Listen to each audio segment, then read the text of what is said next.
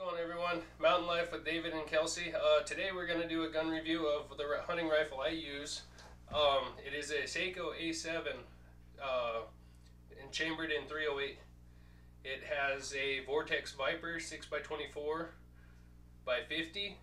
Um, it, I have uh, flip up scope caps. I cannot say enough about flip up scope caps.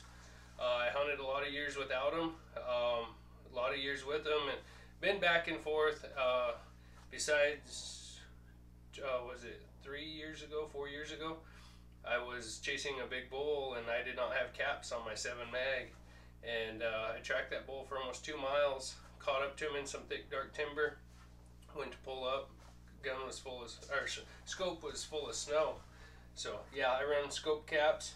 Uh, this is a paracord sling on it. I run the 9 by 13 inch bipods. Uh, I like to do a lot of prone uh, shooting, so I don't run the very long bipods. If I take a stand-up shot, it's normally uh, offhand shot. Um, I will rest against a tree and stuff when I have the chance, uh, but mainly I like to get down prone, uh, get good and solid behind the gun. Uh, a lot of people say the 308 is not a good long range caliber for big game hunting. That to be uh, not true. It is an excellent round from close range out to long range. Uh, I've taken one bull elk with it. My son took a bull elk this year at 635 yards. First ever bull elk. It was pretty awesome. Um, he got down prone. He was on top of the ridge, dialed the scope. He touched one off and uh, made a good shot on that bull. Um, I've shot two bucks at 500 yards with it and had no problem. The ammo I am running is the Hornady Precision Hunter. Uh, they are a 178 grain ELDX. Uh, ELDX, I love them out of this 308. I did not like them out of my 7 mag.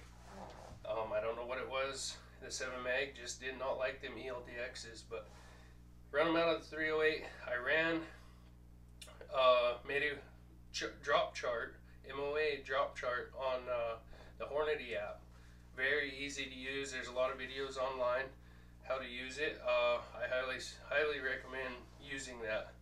Um, built that chart and it's been dialed ever since. My girlfriend, she's shot clear out to almost 700 yards with this rifle and has shot groups about like that.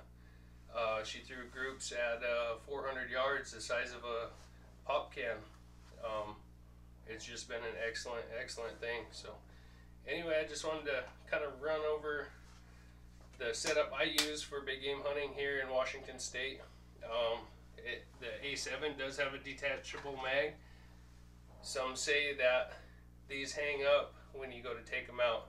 That's not the case. You have to press in on the clip or the magazine before you push the button. It's a safety mechanism so you don't hit the trigger on the magazine and lose your magazine. So anyway, again, that's my setup. I use that for anything. I've taken uh, cougar with it, coyotes, uh, whitetail, mule deer. Uh, my little boy shot a mule deer, uh, bull elk. Yeah, it's phenomenal for uh, big game hunting. So anyway, I'd like to thank each and every one of you for watching this. If you stuck with me this long in this video, uh, it's not a how-to set it up or anything. I'm just going over my setup. Hope this was helpful. Let me know if you got any questions. I try to answer them the best I can. Thank you guys.